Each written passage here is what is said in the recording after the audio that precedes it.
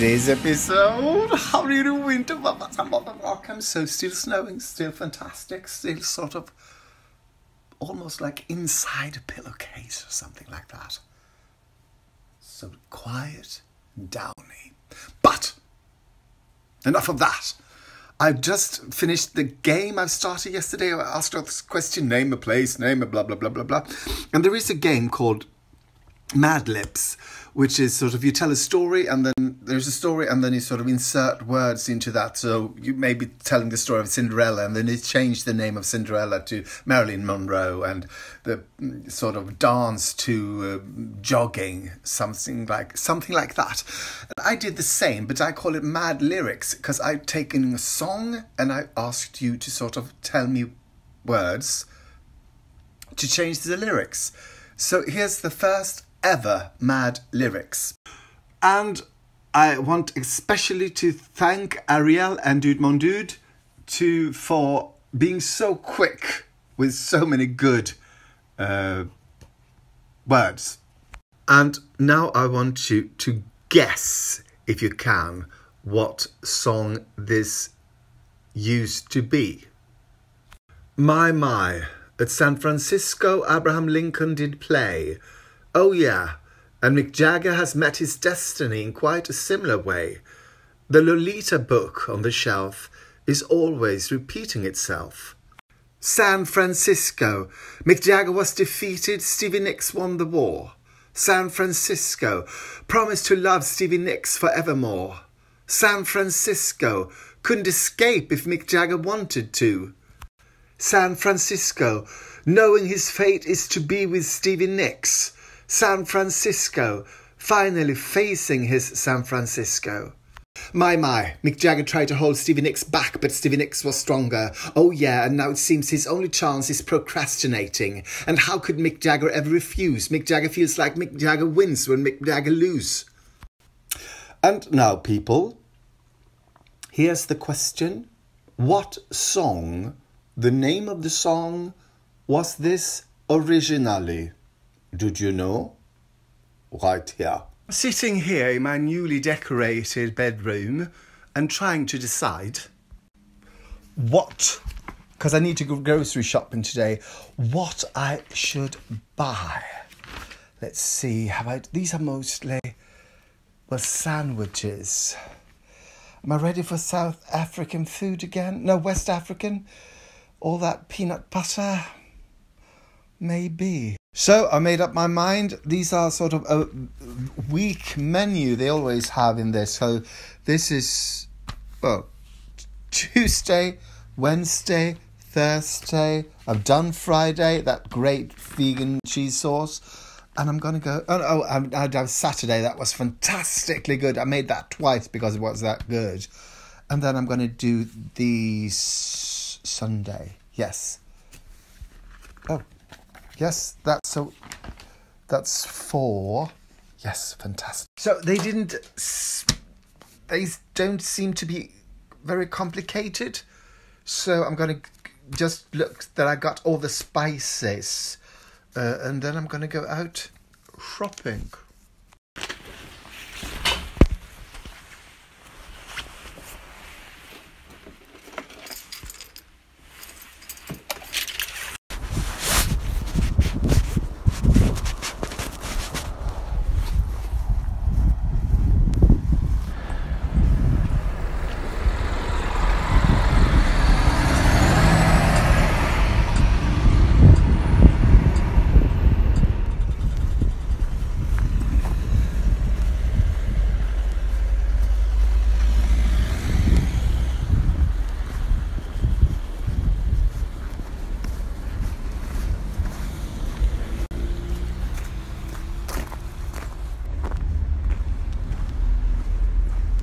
Not quite sure what these men are doing. Maybe they're getting the snow out of the trees.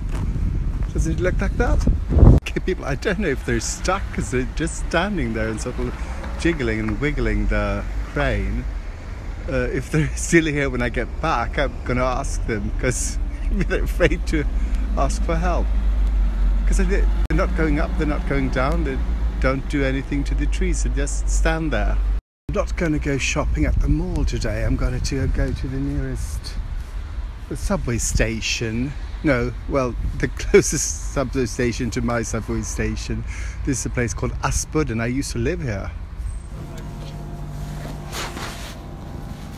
So I spent about forty dollars of a little less than four, 40 pounds, and for that I'm getting 12 portions. Wait, yes, I think 12 or more. 12 or more. So I'm going home. But I'm not going that way, I'm going this way.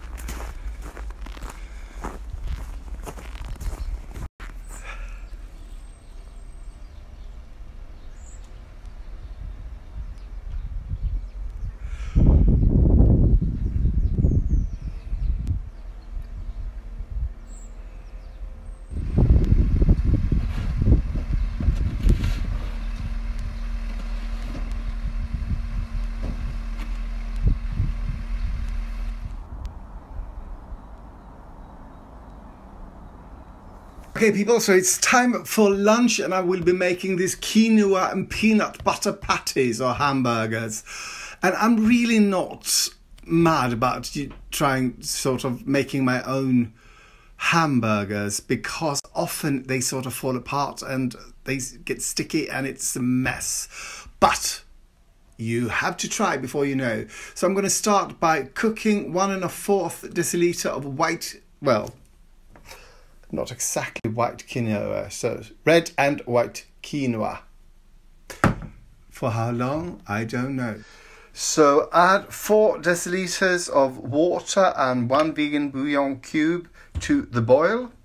That has come to a boil. You add two and a half, two and a fourth deciliter of quinoa. And I don't know how heavily it needs to boil that? Yes. That's going to cook for 12 minutes. But, oh, 12 minutes has passed and aren't they supposed to be sort of, yes? Well, they're not. So, I'm going to cook them a little bit more because, I mean, they're supposed to look like that round thing is. No. Let's keep cooking.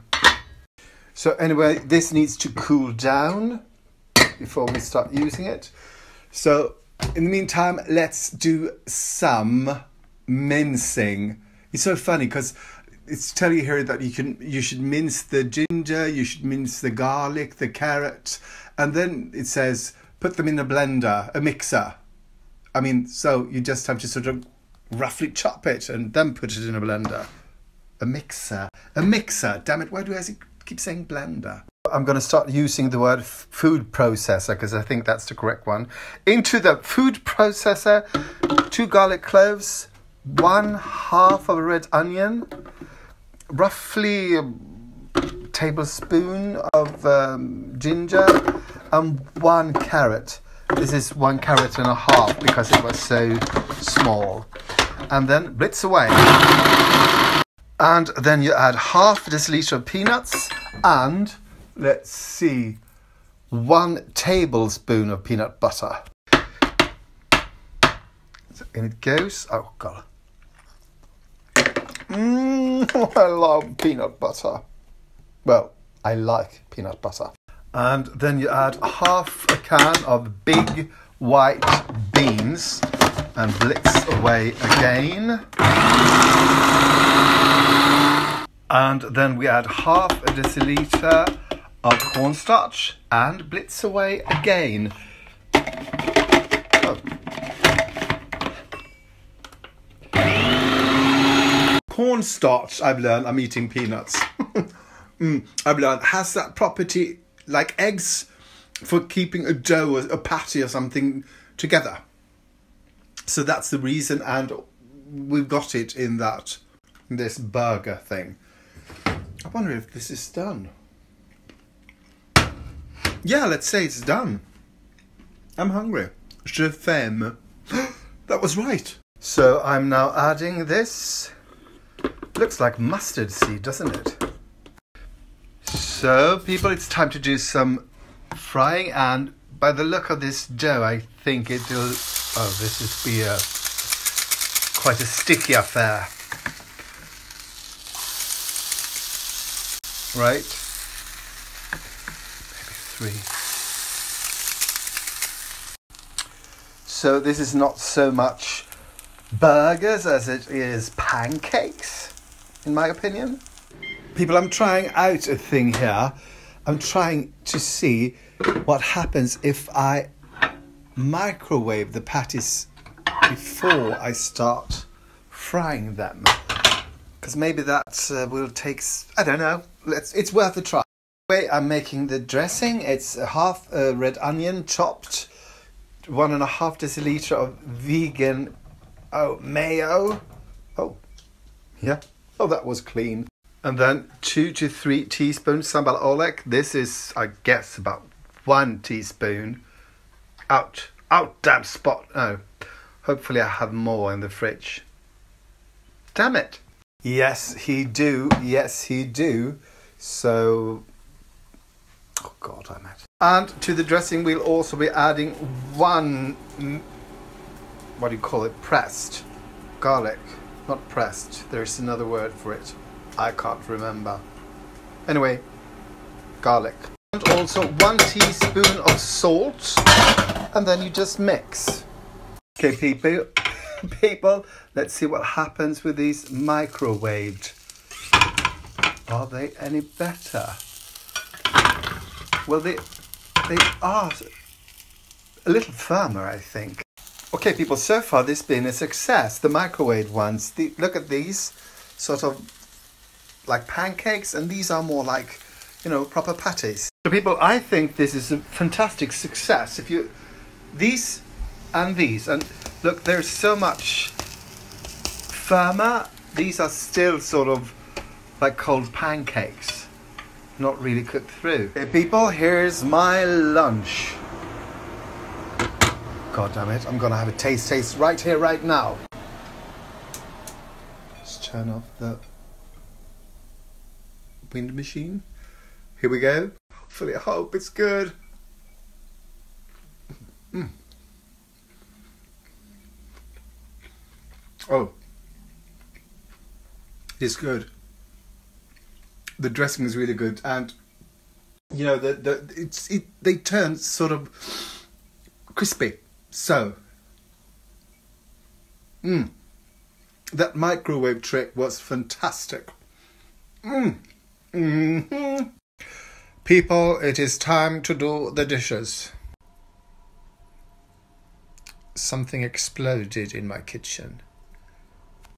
Now, the competition about the song is over. The song, the original song was Waterloo by ABBA. And these two are the winners. Congratulations. So people, here are the mad lyrics again. My, my, at San Francisco, Abraham Lincoln. Oh, God, no, fuck it, I'm gonna sing. My, my, at San Francisco, Abraham Lincoln did play. Oh, yeah. And Mick Jagger has met his destiny in quite a similar way. The Lolita book on the shelf is always repeating itself. Now this is a part. San Francisco, Mick Jagger was defeated, Stevie Nicks won the war. San Francisco, promise to love Stevie Nicks forevermore. San Francisco couldn't escape if Mick Jagger wanted to. San Francisco, knowing his fate is to be with Stevie Nicks. San Francisco, finally facing his San Francisco. Do do do do do do do do do do. My my. Mick Jagger tried to hold Stevie Nicks, but Stevie Nicks was stronger. Wait, oh, wait, no, I need to start again. No, no, I, wait, the last verse just again. Such an excellent singer. My, my. Mick Jagger tried to hold Stevie Nicks back, but Stevie Nicks was stronger. Oh, yeah. And now it seems his only chance is, pro- his chance is procrastinating. And how could Mick Jagger ever refuse? Mick Jagger feels Mick Jagger wins when Mick Jagger lose. Oh, that's it. And then there's sort of verse, refrain, verse, refrain, verse, refrain. But Waterloo, San Francisco. Thank you ever so much for all of you who um, competed. I had great fun. By the way, there were so many people that like this sort of mad lyrics game that I am going to turn it into a thing. I'm going to try. And I'm going to turn it into Mad Lyrics Monday. So if I remember on Sunday, I will ask you questions sort of like name three historical persons and uh, something you can do in the water, stuff like that. Right? Thank you for watching and please like and subscribe and tell all your friends and family and lovers how fantastic I am and tell them to watch me as well.